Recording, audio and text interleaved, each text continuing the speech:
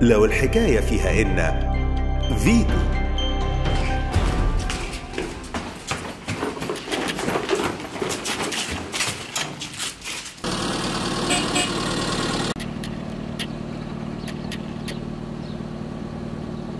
دي فمتدلعه جدا طبعا.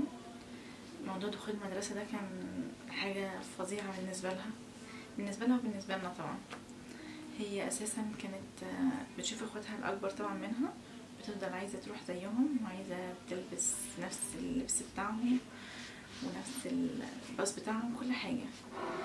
وطبعا إحنا كنا بنفهمها إن مش هتروحي نفس هتروحي نفس المدرسة بس هتلبسي لبس مختلف بس هي كانت نفسها تروحها يعني. آه، فحتى كنا قدمنا لها في مدارس تانية بس هي كانت مصرة إنها تروح المدرسة دي. ف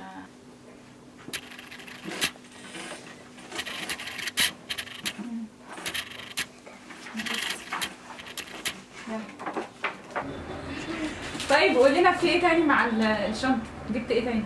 جبت إيه تاني؟ جبت ال lunch box وجبت القلم جبت القلم جبت قلم Spider Man في قلم بقى Ben Ten مفيش قلم Spider Man. ورينا طيب الحاجات دي. وريني فيتو